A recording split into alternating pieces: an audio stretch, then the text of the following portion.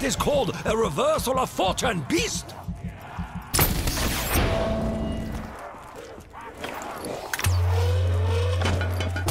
What once was, is no longer.